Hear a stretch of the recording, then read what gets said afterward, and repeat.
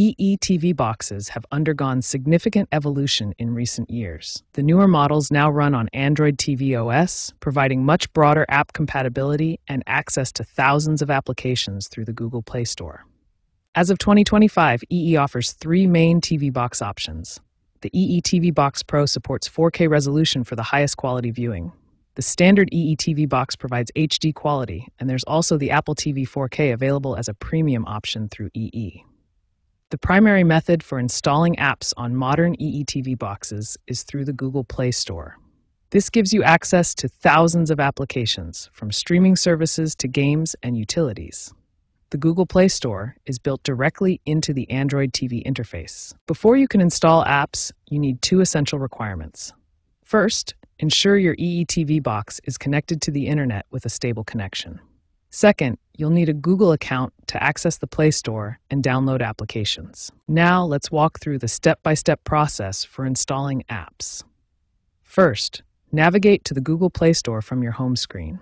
You'll find it among your app shortcuts at the top of the interface. Next, sign in with your Google account if you haven't already.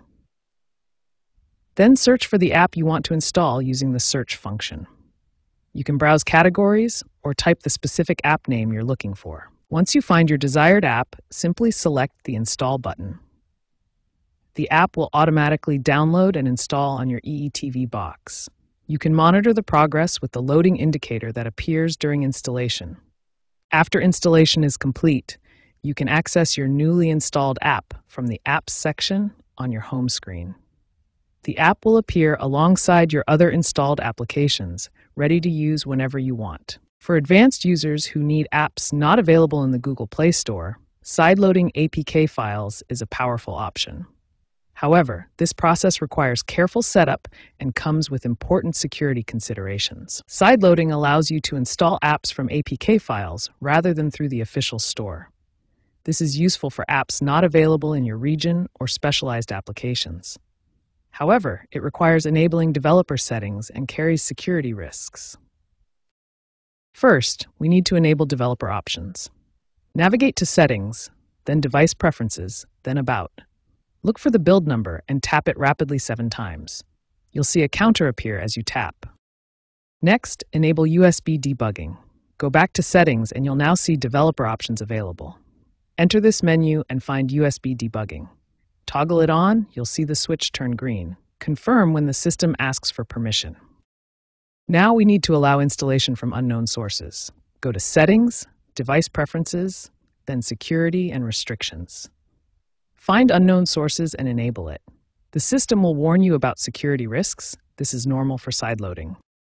To install an APK file, first transfer it to your TV box via USB drive or download. Open the File Manager app, navigate to where you saved the APK file, select it, and choose Install. You'll need to grant any permissions the app requests. Common issues include insufficient storage and network problems. Regularly clear app cache and uninstall unused apps to free up space.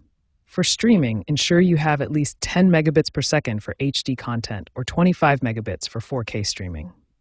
Remember these security best practices. Only download APK files from trusted sources. Carefully review app permissions before installing. Keep your system software updated and consider using antivirus protection for additional security.